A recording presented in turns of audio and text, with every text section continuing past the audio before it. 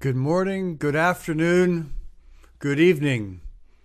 Welcome to the ETH Global Lecture Series. This series offers a platform for contemporary global topics to be engaged with outstanding global thinkers. In a nutshell, we invite an interesting person or two people or three or four, who knows how many, all of you are interesting on the call to speak on something very topical and to share their personal insights based on their experiences and expertise. Today, we are incredibly privileged to have two wonderful individuals, wonderful thinkers, and two individuals who are right in there in the midst of helping us understand what the future of learning and the future of work could be, will be, should be. Cynthia Hansen is the chair, the head of the Adecco Foundation, Adecco Group Foundation, excuse me, Cynthia. And um, I'm sure you've Googled her already or you've looked her up on whatever search engine you use, and you can lose about a half an hour reading about her. And the same is true with Manu Kapur, professor at ETH Zurich, and especially focused on the chair on, on the future of learning, who's joining us from Singapore at the moment. So we have an internationally present group here. Now, all of us learn. We learn every day. Most of us, hopefully, will never stop learning until the day we die. We also work. Some of us don't consider what we do work, others do. Some work for love, some work for pleasure. Some find it rewarding, fulfilling, and for some, it's just a means to an end. And for many, unfortunately, today we can't find it. And the same is for learning and finding the right way to connect, to learn. What does it mean to learn? How do we learn? How could we be learning? What is the future of learning? So today we're going to engage with Cynthia and Manu with a series of conversations, topics, discussions, and also with you, our audience. I ask you to pop your ideas into the Q&A and I will do my very, very, very best to get to them and through them and integrate those into our conversation. And I tell you, I know I have the, the privilege of knowing both Manu and Cynthia and have had various conversations. And I think the, the three of us could probably talk for two days without letting anyone else, anyone else in. But that's not the intention of our global lecture here from ETH. So, Cynthia, welcome. It's great to have you here. Thank you so much, Chris. And Manu, welcome. It's great to have you fly in. Thank you. Thank you. nice to nice to see everybody. It's great to be here. So, so Cynthia, I want to start with you. And the question is, when we're thinking about the future of work, how do we unlock the potential for each one of us to be able to work? Or what, what does this really mean when you're thinking about unlocking potential to work?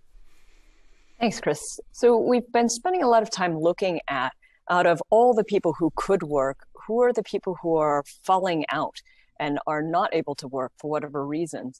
And with this idea, there are these latent pools of talent out there that could be contributing to the workforce, to productivity, to economic growth. And often what's missing is the ability to link the skills, the competencies, the experiences that people have to the kinds of, of needs that the labor market has, or even in terms of language, to translate it and to frame it correctly in ways that employers or organizations can understand. So it may be that you have fantastic things in your toolbox, but the person that you're here who's hearing it or the the AI driven algorithm that's screening your mm-hmm. CV isn't ever going to pick it up. So we're really interested in what can you do to actually reframe what you have to offer and mm-hmm. then map it better to what the needs are out there one of the examples that we've been working on recently is working with young musicians so mm-hmm. you get young musicians who have been identified from the age of two three four trained really narrowly and your whole mission in life is to be the best cellist you could possibly be and you get to 25 and you find out that across all of the world there are only a handful of positions available for a cellist in an orchestra and you need to suddenly look at what else you might do in addition to music or instead of music. Mm-hmm. But you say, well, but I could just be a cellist. I know how to do this and nothing else. But actually, if you dig into it, as a musician, you know how to work in a team, you know how to give feedback, mm. how to receive mm. feedback, how to create um, kind of synergies with other people, how to critique your own work, all of these great things that would be applicable for any employer, but you may not have even thought about it in that way. So it's really the framing that's often key to unlocking those pools of talent. So they're really talking there about different kinds of different types of skills, right? Not just a, a work title, but a skill set and to appreciate the skill set. Is that correct? Indeed. And, and actually, something that we're seeing now is a sea change away from job titles and job descriptions more to role descriptions and uh, seeing a job as kind of a, an amalgam of tasks or a fluid grouping of tasks. So it's more not that I am well positioned to be this type of engineer, but actually I bring this skill set and I have this polyvalent ability to take all the things that I can do and apply them to a lot of different kinds of jobs. And that's what you're going to see in the future rather than it being so focused around job skills, job titles. It's actually going to be, you know, a, your array of things that you can do and how you can apply them in different contexts. So, so before I come to Manu to comment on this, one, if, if I'm if I'm an employer in the and I said that for the past hundred years, someone came to me and said, "I'm a cellist," or "I'm a civil engineer." I would understand in my I would create a picture in my mind what what she what she could do. But what it's sounding like this isn't the right this isn't the way it's going to be. Uh, a, a, a title of a degree or is is no longer going to be the picture that we need to be placing in an, an employee's or an employer's mind. How do we how do we understand that when we're looking at the future of work and future of employability? So I think one of the things that you'll see more of is a better understanding of the needs and like really spending more hmm. time on what are the needs for a particular role or a particular task or a particular project. What do I need around the table in order mm-hmm. to accomplish my goal. And so then it's going to be, well, I need someone who's a lateral thinker. I need someone with this kind of expertise. I need someone who's good at synthesis. I need someone who's good at data visualization. So those aren't job titles, those are an array of skills. So I think what you'll see more is pools of people with different talents who get mm. configured in different ways mm. around a particular task or a particular project. And maybe that's something that is not permanent. So hmm. maybe what you'll see is actually your workforce becomes a pool of talent that you configure and reconfigure depending on mm. what you need. And this is where that idea of different types of employment also makes sense that you may not need to keep that data visualization person on staff all the time, mm-hmm. but maybe you need that person in a pool, and maybe the pool is shared with other departments or even with other employers so that you can keep that person meaningfully, gainfully employed, but it doesn't have to be in a traditional role under a traditional contract. Hmm. That's interesting because you, you just unearthed something which could be the future of work, also has something to do with the future of organizational structure. Indeed. Mm-hmm. Aha. Well, we're going to park that one over on the side for just a few minutes because I'm going to want to come to Manu. Manu, you you are you have the chair for future of learning at the ETH. So, how, how do you see this when we're looking at skills, work? I mean, what's your take on it? Yeah, so when you when you started with the unlocking of potential, you know, the way a learning scientist would see something, something like that is not to think of it as something you have, potential is something you have, and then you unlock it. Uh, we see it something that can be developed. You know, if, if, if it's a trait something either has or doesn't have, then there is no opportunity for us to design the growth or the development of it.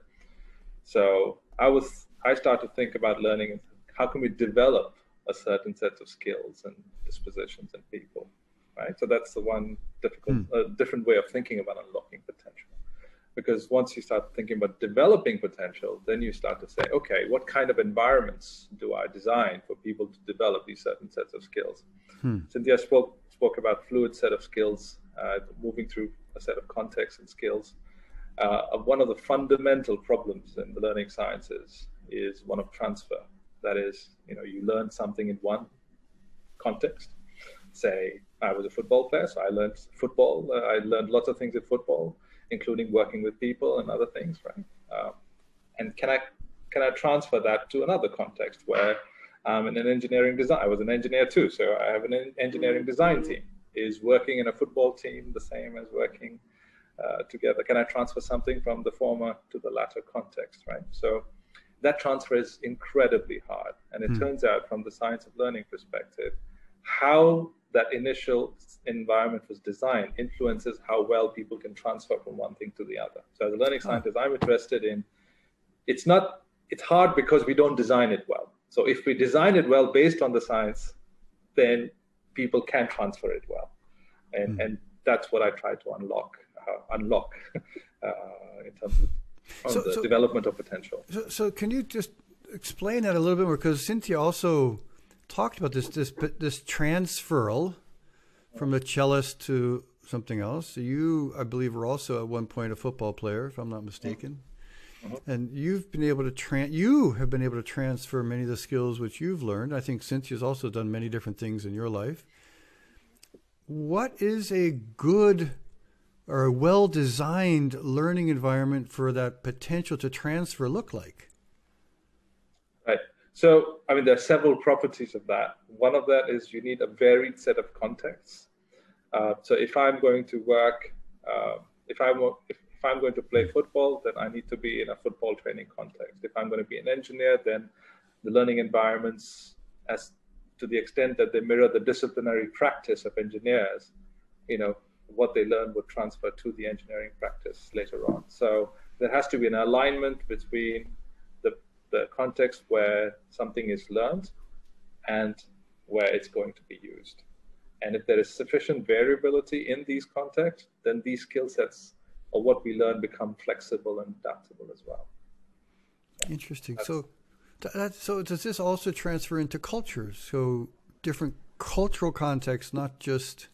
Mm-hmm learning yeah. Yeah. yeah. So from a learning scientist standpoint, we, what we design for are cultures. The unit of change is culture. Hmm. So, you know, we're not implementing a new, say, methodology or a teaching method in the classroom. We're changing classroom culture. Hmm. You're not you're not trying transforming somebody. You're changing someone's personal culture, mm-hmm. uh, and organizational culture, societal culture. The, it's it seems hard, you know, on, on the face of it, but human beings are very malleable, very adaptable. I mean, we already behave differently in different cultures that we operate in. Here, in a more formal, informal culture, at work, with friends, with family, and we switch on and off and adapt very quickly and move, navigate across these things very easily. So we have the ability now, if we can design these cultures at different levels based on the science, then I think we would be able to. We have the facility to be able to navigate, and if we can't, we can support Uh, students through that. Yeah, fantastic. Would, so, Cynthia, go ahead. I was, I was just going to build on that for a minute because I think it's about also understanding the other cultures, understanding how to bridge. So it's like literally going into another culture, understanding what the drivers are, what the needs are, what the language is, what the, the key triggers would be, and then figure out back to the framing idea how to communicate what you what you have or what you're building or what you want into that language. I like that idea of cultures being the unit of change. Yeah. Mm. yeah. yeah. And failure is intrinsic to this. So, you know, True. whenever you want to operate in any in a new context, you're bound to fail at something or the other. And if the culture is designed in a way or the norms are set in a way where that is expected, that is part of learning, and that is uh, you know people can grow into it then that adaptability the navigating across different contexts also becomes easier it's, so i want to come back to this unit of change mm-hmm. I'm, I'm, intrigued by that because a unit implies a size mm-hmm. if i think of culture that that's also that's huge i mean cultures we saw cultures mm-hmm. of multiples and multiples so kind of elaborate on that just a little bit more. The, this this unit of change being the culture. Is it the, the culture of the classroom, of the learning moment? What are some of the parameters for that to be successful? So every every activity we take part in is has a social surround, has a cultural umbrella or an envelope to it. You know, if you're at work, there is the organizational culture or department culture or your lab culture that surrounds you, that that implicitly, explicitly, or tacitly guides you in certain ways of behavior, right? So part of the change, when we say the unit of change is culture, is to try to understand what these implicit and explicit rules and norms and expectations are and value systems are. Try to align them to more what the science would say are more productive ways of thinking and being, ways of being when you're learning something. Hmm. So, for example, if you're in a classroom where the teacher only asks, like, you know, here is the way to solve a problem, here's what you need to know, here's how you solve it, learn it, learn it correctly, and go and take tests. That's one thing. Another classroom, you know, a teacher may say, well, here's a difficult problem, you know, try to solve it. You know, it's okay if you don't, if you're not able to solve it correctly. Try different ideas, talk to people. And if you're struggling, that is actually good. That is actually a sign that you're in the right space. You hmm. know, mm uh, if you're finding it easy, you should not be too happy.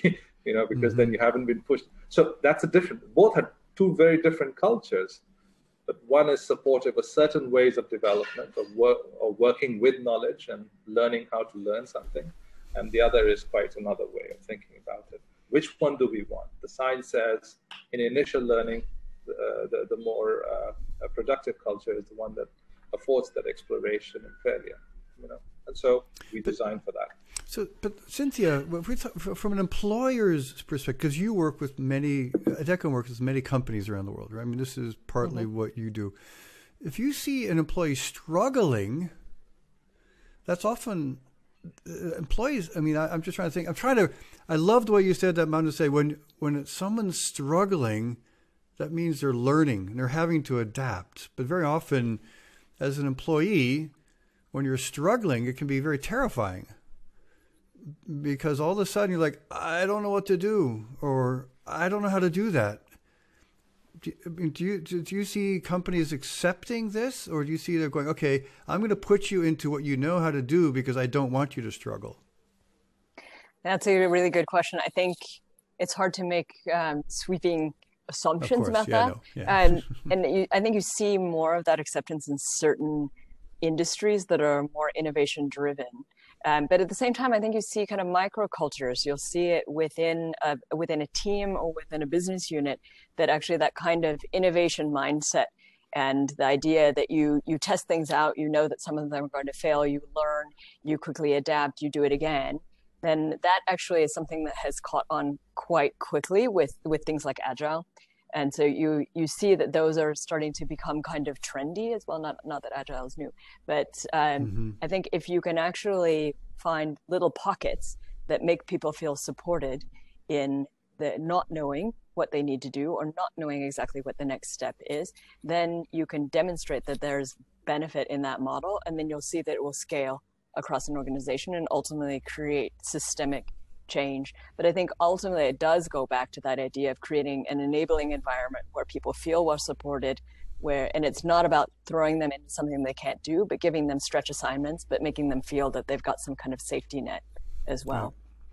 Because there's some situations where it's okay to say you don't know, and there are others where you're kind of you're ter- you're terrified to tell your boss you don't know how to do something because you're going to lose your job. I mean, this is this is sort of an interesting thing. Now, let me I want to pop into something else because I know AI, so the digital transformation is pretty profound in many domains right now. Right? In some parts of the world, it's advanced, other parts, it's not. So this, this digital transformation is amongst us. When those two words, what does this, what do those two words mean, Cynthia, for you when we're thinking about the future of work? Digital transformation, the future of work, and Manu, come to you with the future of learning. What do those two words mean for you? So there's been so much written about digital transformation and the idea that it it hinges on automation, and that automation then means that people are going to be kind of automated out of jobs. Mm-hmm. But actually, that that is again too big an assumption. And actually, there's really good research that shows that you know many many jobs are being created as other jobs are being automated out. And so, what it really means is looking at it more as a flow. So, what kinds of jobs are going to cease to exist? What kind of jobs are going to be on the rise? Therefore, what kind of skills are going to be needed as well? And to really think of it more as how do people work alongside technology. It's this mm. human technology interaction and collaboration.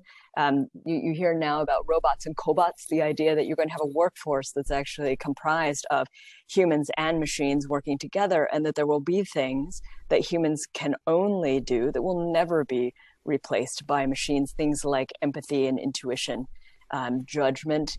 Uh, obviously, you can make AI judge in certain ways, but there are going to be limitations. And so I think it's really about figuring out the human element that will always be part of digital transformation. And back to the 4IR idea that digital transformation and, and kind of the advancement of technology should always be in the service of people. And the and I'll say uh, and the planet. Let's not forget and the people, planet and yes. the planet. Yeah. so okay, yeah. and and Manu, for you, digital transformation, learning, several things. Let me start with a couple. So if you look at theories of expertise, we've studied experts. Experts know a lot of you know explicit knowledge. These are the formal rules, theories, grammar of the domain, things you can talk about, things you can write about, things that are codified.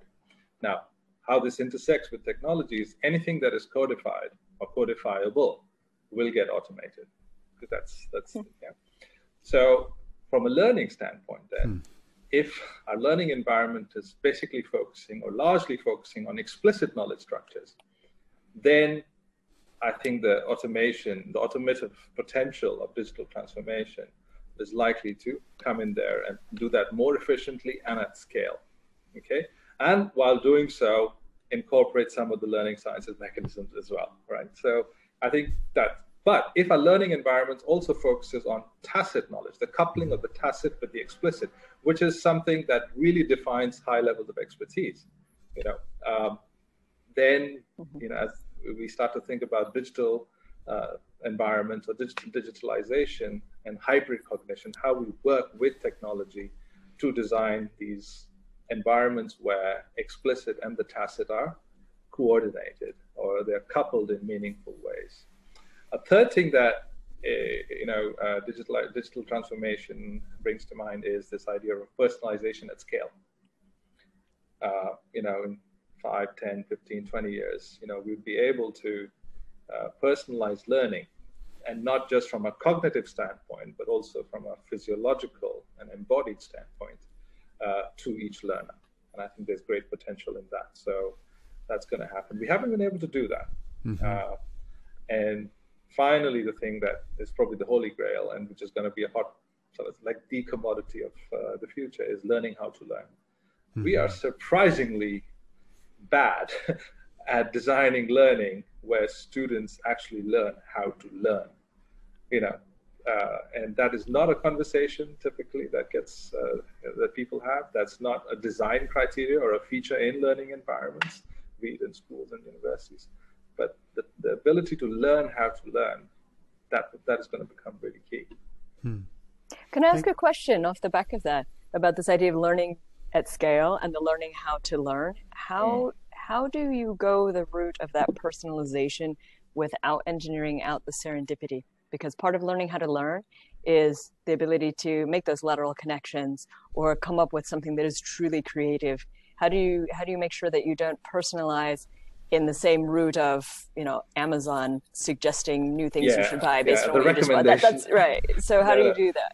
No, so there are d- different degrees of freedom within which you operate. So by personalization, you could uh, what I mean is you can initially lay a certain set of degrees of freedom. You can be relatively open, but within a bounded space where students can explore and tinker. Then you can tighten the degrees of freedom because then you want them to assemble knowledge and connect with whatever method that they've tried. So so what, and then as you go through this path, uh, you know, by increasing or decreasing the degrees of freedom, you know, you will learn that for each learner, there is one, there is a, a desired set of experiences that they need to have that, that will lead to productive learning. Uh, and at scale, we will begin to learn what kinds of sequences of degrees of freedom that we need to design for that are most optimal for learners. So it's not the case where you uh, personalization means narrowing uh, the degrees. It also means expanding and contracting, but in a way that's consistent with how the science of learning. So, so let me follow up on that because this is something to both of you now. One has to do with I'll call it a learning path. The other is a career path. When I graduated a long time ago, there was a career path that you knew you were going to do this, that, that, that, and you were kind of guaranteed you would retire at some point and hopefully, you know, be able to eat a, a few, whatever. So but today, what you've just said, Manu, is the, the, the Holy Grail is a personalized path, which doesn't mean that there's a career path or a learning path which is recognizable. So we're going to start from the corporate standpoint. When we see career paths, do we have to kind of re- completely reconceive what this means, or is it still something we can be, or, or is it still something which is uh, a valid two words together? I think it's a valid two words. I think the definition and the interpretation will change. So, as you said, it used to be that a career path was, you know, you you you study, you specialize, you apprentice, you go into the workforce, and then you go through a set uh, kind of progression, right? Uh, and I think anymore, it's more that you you identify what what you like, where you contribute, what skills those are, and it becomes a little more of a flow. So there are varying statistics about how many whole careers people will have, but the last thing I had heard was that it's at least five. Hmm. And what I think you'll find is actually you may have five complete careers, but you can actually draw some kind of red thread. So, you know, I started with this kind of work and I found that what really drove me was actually working in teams. So I moved into this kind of work and I found I liked working in teams. What I really liked was leading teams. And so I moved into this kind of work.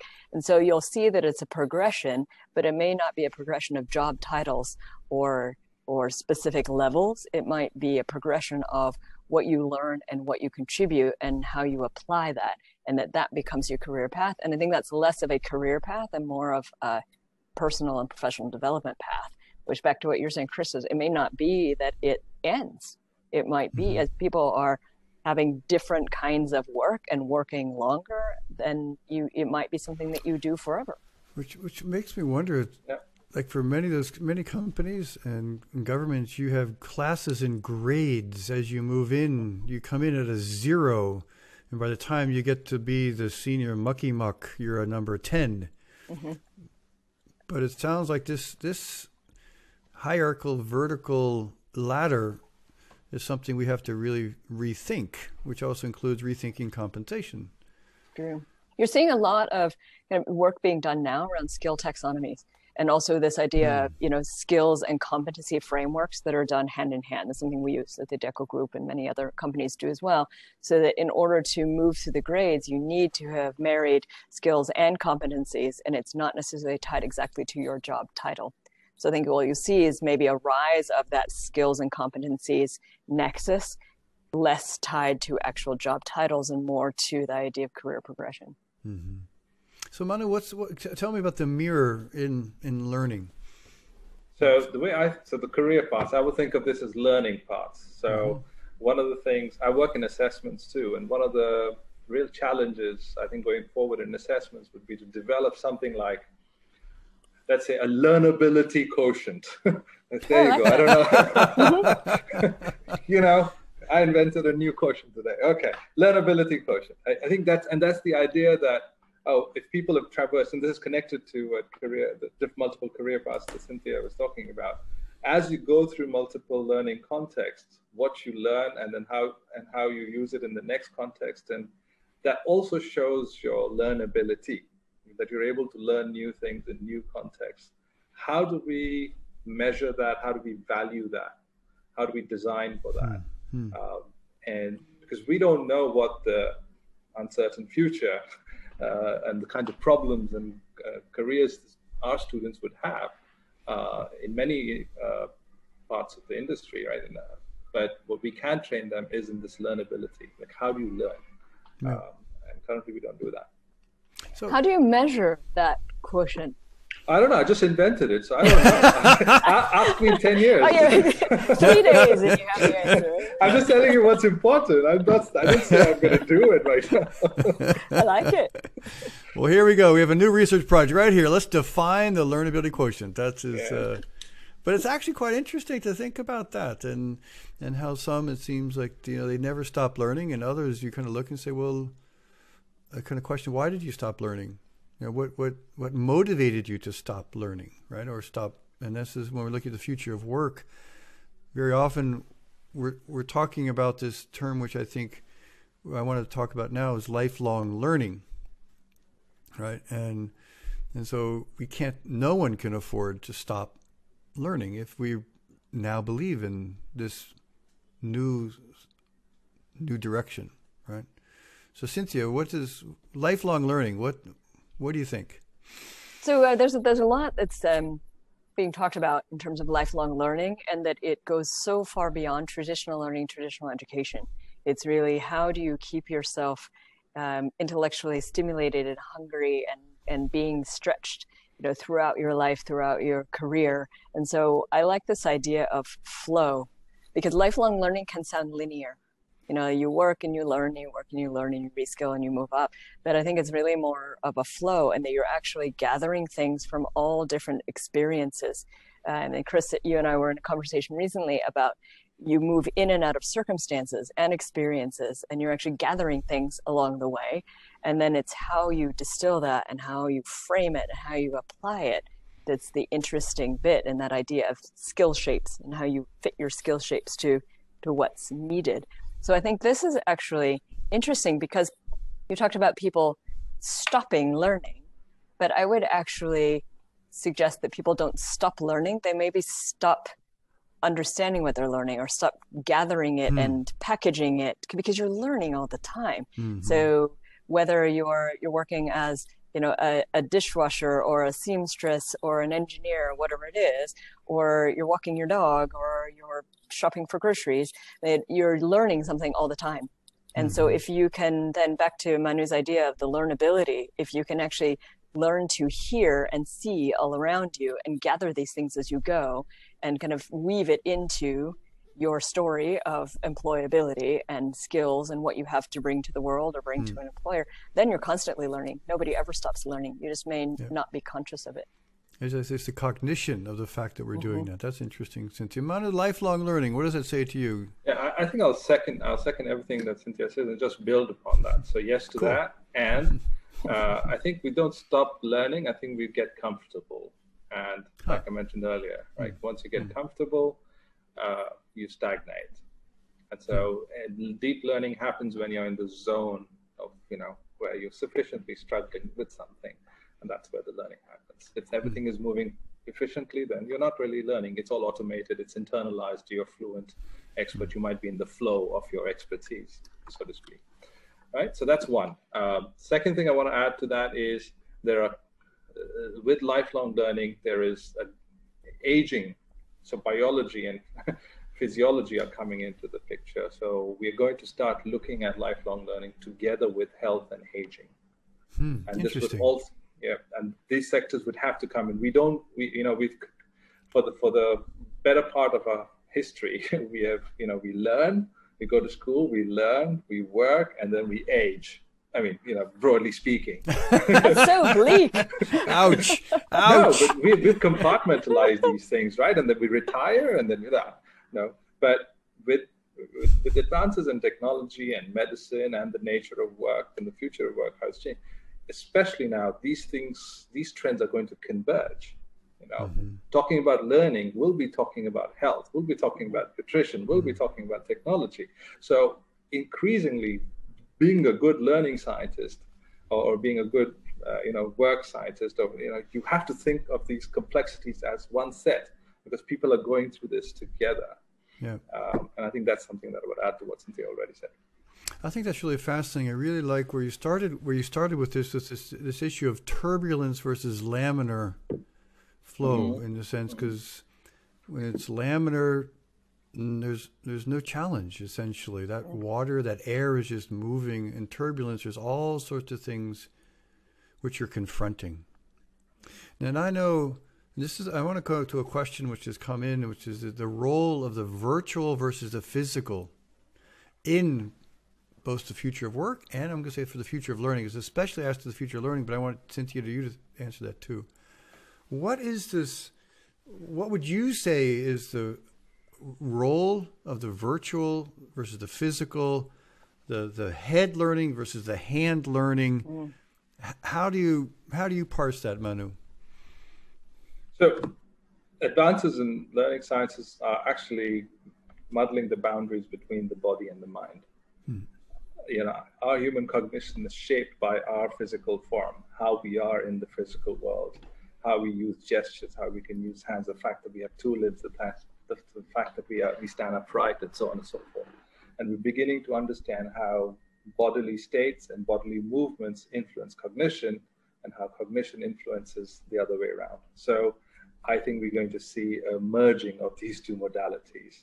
And from a learning standpoint, again, the question then becomes we don't have to just rely on mental mechanisms to design powerful learning environments. We can rely on physical, embodied mechanisms. So if I'm going to teach you a proof in geometry, I don't need, I don't just have to design a nice way of explaining it to you. I can make you move in certain ways that help you develop intuitions that then could become mm. useful for learning. You know, so it's opening up yeah. this convergence. It's opening up a lot of new possibilities, a lot of a lot of new ways of thinking about designing learning. So, but it, it, correct me if I'm wrong, but I remember that someone someone taught me that physically taking notes by by engaging more than one sense, our brain would absorb whatever information it was that one was trying to uh, absorb, what you're trying to learn. So, multiple senses help you embed certain learning. Is that is that is that a myth? Is that a, like an urban myth, or is it was this true? No, multiple coordinated modalities. So if the, the visual and the audio and the physical modalities, perceptual or haptic modalities, are well coordinated, and what you're learning is relevant to, and how this coordination is relevant to what you're learning, then right. yes, it is good. Uh, but up to a point because there's a bandwidth right. issue as well. Right. right. Okay. So we can we can fry our brain just by by learning. Oh, okay. That's what happened in the 70s. I was wondering what happened. That's, that's it. I was learning. Okay, Cynthia, what about for you? The physical, the virtual, you know, from a future of work standpoint, with your people you're working with, is this is this a topic or? It's very much a topic, and I, I think with the advent of COVID and the fact that the traditional ways that people could interact mm. now have have changed. Either they mm. can't be used at all, or they have you you end up with some hmm. virtual semblance of it. So you take the Zoom meeting, you know, and you know people are are frustrated by the fact that you can't sit in a room together and and have that kind of interaction. But what you can do in the Zoom meeting is make sure that you take time for the chit chat and how are things going and how was your weekend? And you know what's that picture behind you on the wall? Oh that was the picture that somebody drew for my wedding things like that. All right this one of my colleagues actually has that it's lovely. So uh, mm. you know things like that humanize it a bit. I think ultimately what you need is to figure out what tool and what type of interaction is suited for what what are you trying to accomplish so you know zoom meetings are fine maybe for sharing information but if you actually want to have a collaborative process and you can't physically be together, maybe you need something else. You need mural, you need Miro, you need something, some other way of interacting that will make you move. So maybe you have somebody in one room drawing on a whiteboard and then other people contributing to it, you know, virtually, and then you swap and somebody else is drawing on the whiteboard, so you're physically moving. Um, or you look for ways that you can you can kind of marry technology better.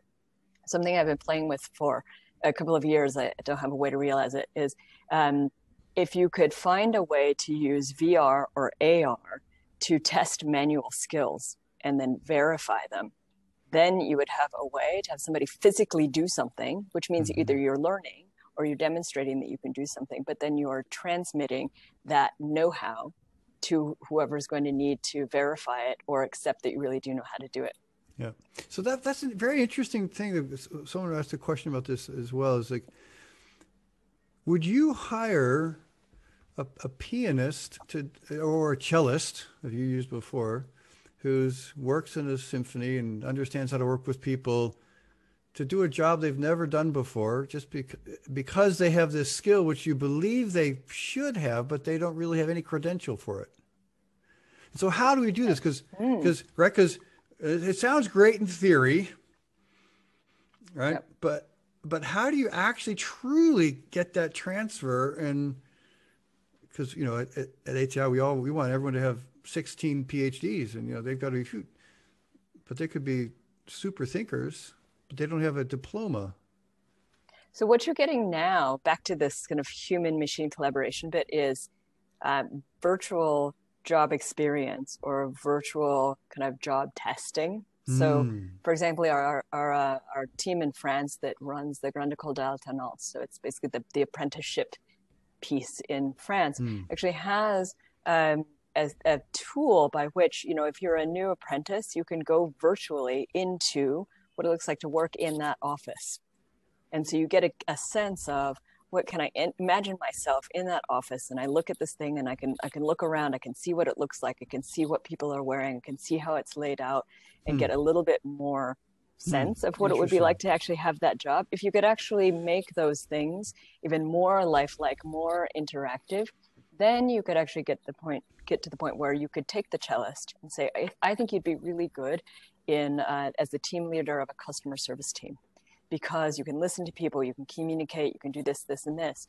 Um, let's do a simulation of what it would be like. Interesting. And, and then you can do it without the fear as mm-hmm. well. It's not I'm going to take a job that I know I can't do and I'm going to fail and get fired, but rather I've got a chance to test it out and see if I like it and see if it actually suits me as well as does it suit the employer. I think it will come.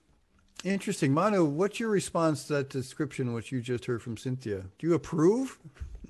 Yeah, yeah, yeah, absolutely. And I think you know, back in the day when I was in college, we were, you know, some of my friends used to play Sim City, and you know, and after mm-hmm. that it was Game of Thrones, and you know, there was a time where you know, come, some some some of my friends went for interviews, and they were actually asking, "Would you play Game of Thrones? Okay, what's your status in Game of Thrones? Are you guild leader or not?" You know, honestly, because if you can do that, if you can coordinate and build a guild and manage that and be successful, that means you've got something special. Like, I mean, I am just giving an example. Interesting. You know, uh, and, and, and, and same with other, so there are ways of, you know, again, going back to the physical and the virtual, the ways of operating in these worlds, of playing in these worlds that require very tangible, you know, important skill sets. Um, the question is one of measurability. Um, that's one. Second, when I when I hire people, you know, I always give them a situational assessment. Uh, oh, interesting. Know, all mm-hmm. the time. something that is new, something that is hard, something that need to do it uh, quickly, and something that they would need resources, so they will need to do together. And within a very quick assessment, one can tell how flexible this person is.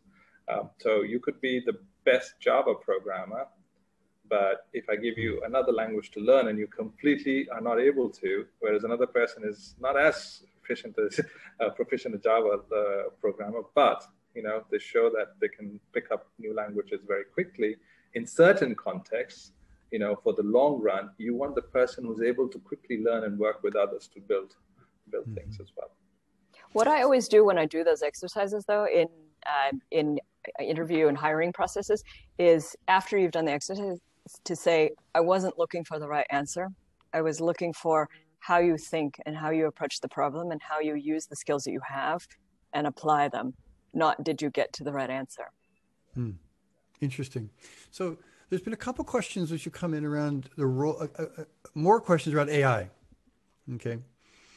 I think this is something when, when we're thinking both about the future of work, the future of learning, you know, machine machine learning, artificial intelligence, is on everyone's mind again. And so when we're thinking about the, the translation of skills in the workplace or in learning, in your view, do you think it's getting better or worse? This is the question I'm quoting it. Is it getting better or worse through AI?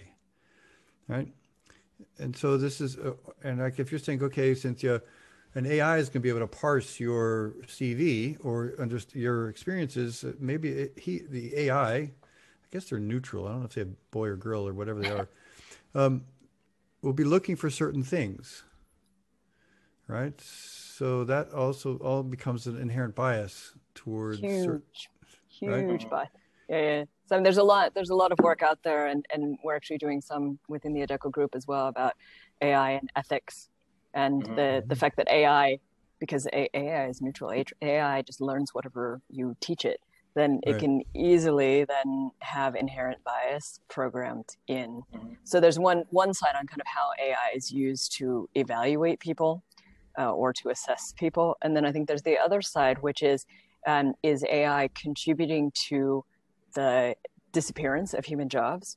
And I would say in that case, no. So we had done a piece of work with BCG a, a year or so ago that was really looking at actually across the spectrum, across all different industries, across all different levels of jobs. What you're seeing is not specifically AI, but advanced technology is actually impacting all of them. And it's not that hmm. people mm-hmm. are going to lose jobs, it's that they need different skills. Mm-hmm. Yeah. And this comes to a, part of another question. So, but uh, Manu, do you have any comment on this, on the, the integration of AI into the, the future of learning? Is this a, a red herring? Is it a real tuna or a big shark? No, like I said, I, I uh, you know, the personalization at scale is the holy grail. Yeah. Uh, you know, but the eth- question of ethics is equally important. We don't yeah. want to build, uh, embody AI with our inbuilt biases. Already the world is suffering from it yeah. Yeah. So here, someone asked a question which I thought was quite intriguing: is can we we are talking about here in the future of work, future of learning? We also have to unlearn certain things.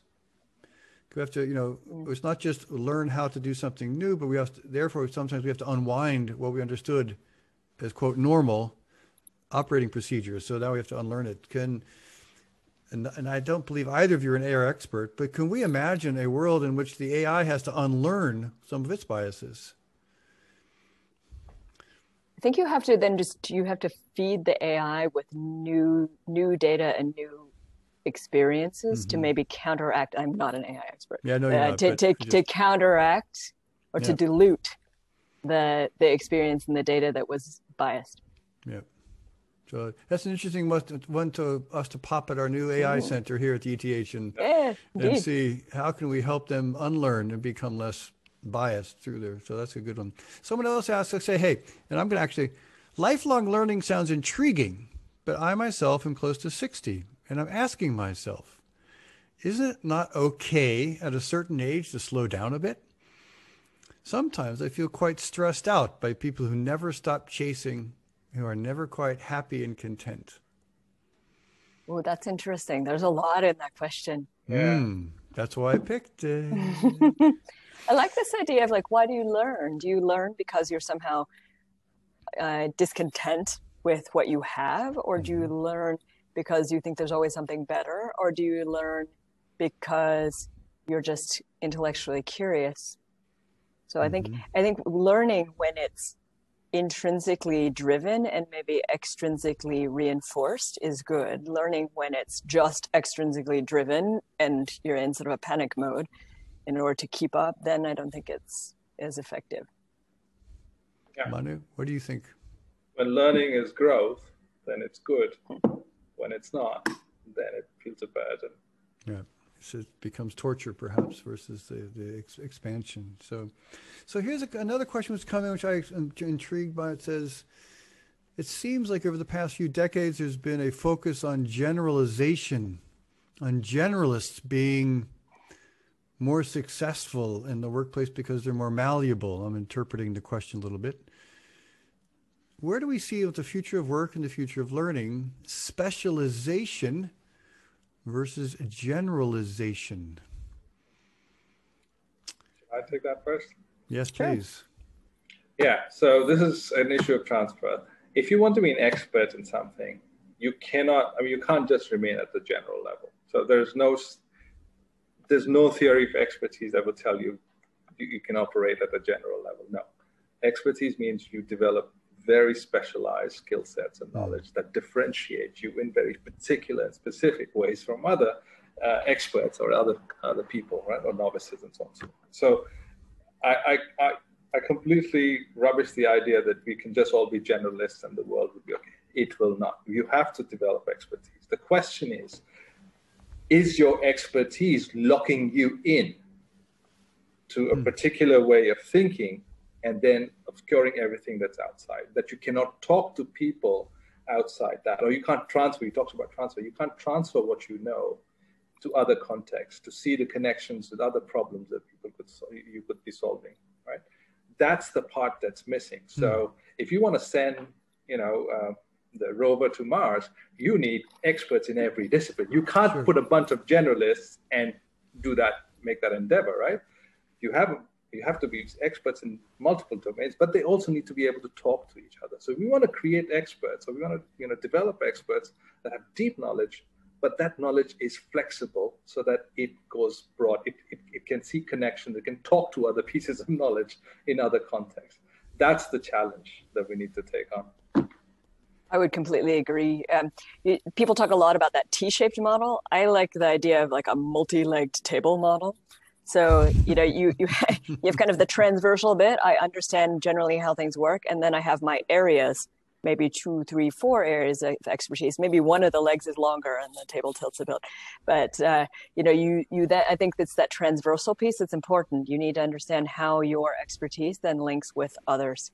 So you also you need people who have those skills. Back to the learnability piece, mm-hmm. but who yeah. have the ability to then specialize in certain things because that's what the value is that you bring to the table. Mm-hmm. Well, so, we live in pandemic time, so I'm going to use the viral model. You know, you have the expertise, and it's got forks in all different directions, and it can latch on, latch on to, and. That's true. And just have to have the right protein receptor to find the right place to latch into. Yeah. Exactly. Yeah, and but and, yeah. Anyway, we will stop on the virus thing right now, right there. All right, I don't want to go there anymore. So, so, but let me ask you this. So, for mm, for those who listen to this who are in their 20s or teens and thinking to themselves, okay, in the future I will be working, in the future I will be learning, I will be flowing.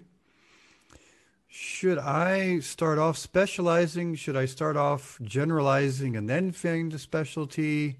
Whether we're a T shaped person, a deep T, a broad T, a tabletop, or a coffee table, or conference table, how what would you say to these these young of years individuals as they're starting that journey? What what advice would you both of you give to them, and who would like to start? I can start. Yeah, because I, I, I do a lot of mentorship, um, and I, I am probably a bit biased because I'm the product of a liberal arts education, which is really mm-hmm. try a lot of different things, learn how to learn, and then figure out where you want to specialize. Um, so I think that experimentation and and broad-based learning is really important. The other thing that I'm really conscious of with the folks that I mentor is that just because you specialize, that doesn't mean it's what you do forever.